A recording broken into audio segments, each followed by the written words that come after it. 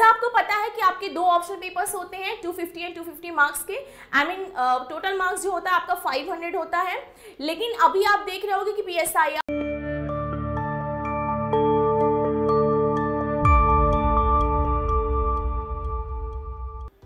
hello everyone my self Shakiba and today I am going to tell you why one should choose P S I R optional in U P S C C S C okay so let's have look here The PSIR optional subject has lots of convergence with GS paper 1 for prelims, for mains GS paper 1 topics based on ideologies like communism, socialism etc.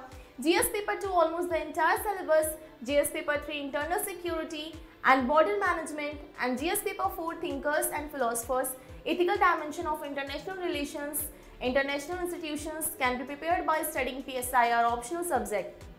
Okay. So P S I R optional subject के बारे में बता रहा है कि हमें क्यों P S I R optional subject जो है वो चूज़ करना चाहिए। ठीक है? तो जैसा कि मैंने बताया कि जो P S I R subject है, ये आपका G S paper one film में भी इसके क्वेश्चन आते हैं। ठीक है?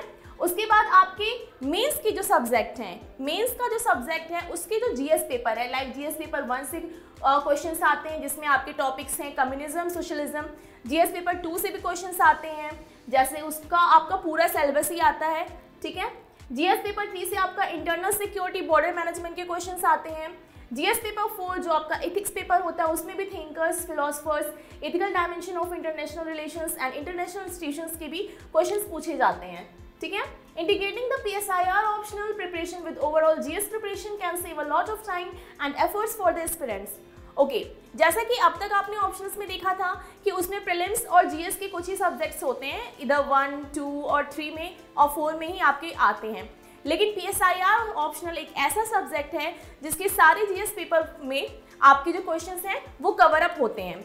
सो so, इससे क्या होता है कि आपको हेल्प मिल जाती है कि आपका प्रिलिम्स का भी तैयार हो रहा है और जीएस के जितने पेपर्स हैं उसके भी आपका सारे सिलेबस जो है वो तैयार होता जा रहा है। Next PSIR is a dynamic subject with huge contemporary relevance. This makes it a very interesting optional subject. Aspirants can engage with the subject for a very long time, enriching their understanding of international relations, IR and governance. Okay, so PSIR जो है वो एक dynamic subject है, ठीक है? और मैं बता दूँ कि P S I R subject काफ़ी इंटरेस्टिंग ऑप्शनल सब्जेक्ट है, क्योंकि आप देख रहे हो, आप ऐसे भी, अगर आप ये ऑप्शनल लो या ना लो, वैसे भी आप प्रिलिम्स के लिए आप उसके सिलेबस को तैयार करोगे। जीएस के जितने भी पेपर्स हैं, उसके लिए आप प्रिपेयर करोगे। So why not P S I R क्योंकि पी एस आई आर आप ले रहे हो तो ऑप्शन के साथ साथ बाकी की चीज़ें जो है, वो आपकी कवर अप हो जा रही है। Okay next Number of selections with PSIR optional in the last 5 years has been very high. The success stories of toppers from the PSIR optional subject reinforce its ability to perform well. Okay, अब ये आपको मैं बता रही हूँ कि P S I R subject जो है ठीक है उसकी जो नंबर ऑफ़ सिलेक्शन है पाँच साल से बहुत ज़्यादा हाई होते जा रहे हैं जैसा कि आपने सुना होगा 2015 में हमारी जो टॉपर थी मिसेस टीना दाबी जिन्होंने सबसे पहले पीएसआईआर ऑप्शनल को चूज़ किया था और उसके बाद क्या हुआ, ज़्यादातर जो बच्चे हैं, वो पीएसआईआर ऑप्शनल लेने लगे। और टीना धाबी की रैंक जो थी, वो फ़र्स्ट अटेम्प्ट आई थी, ठीक है? उनकी रैंक फ़र्स्ट आई थी। उसके बाद अभी हाल ही में आपने देखा होगा 2022 में इशिता किशोर जी जिनकी फ़र्स्ट रैंक आई है और उनका भी ऑप्शनल सब्जेक्ट जो था वो पीएसआईआर ऑप्शनल था। तो आप देख रहे हो कि पीएसआईआर ऑप्शनल की डिमांड जो है वो कितनी हाई होती जा रही है। Okay a lot of students are scoring more than 300 marks in PSIR optional this indicates towards the fact that high scores can be achieved in the subject with serious and systematic efforts okay. जैसा आपको पता है कि आपके दो option papers होते हैं 250 and 250 marks के।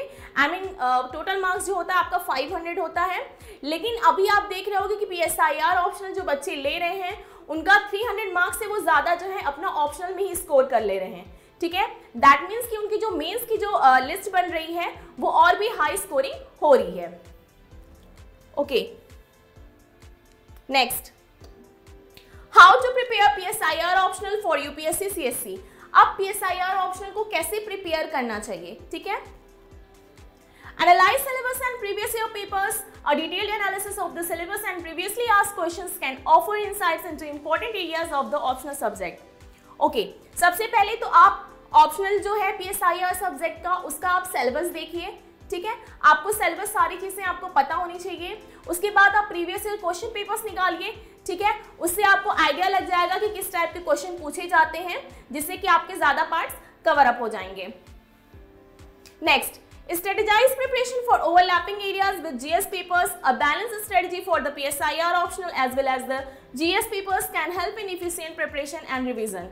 जैसा कि ऑलरेडी मैंने बताया है कि आपके प्रीलिम्स में भी उसका सिलेबस है। ठीक है क्वेश्चंस आते हैं और आपके जीएस के मेंस पेपर में भी आते हैं तो उससे क्या होता है आपकी ज़्यादा से ज़्यादा तैयारी वहीं से प्रीलिम्स और मेंस से ही हो जाती है। Next answer writing practice practicing different themes of answer writing with an emphasis of interlinking of various sections of syllabus can fetch extra marks in actual examination Adding contemporary examples from current affairs and practicing maps for IR can enhance the experience answers. Okay, answer writing practice.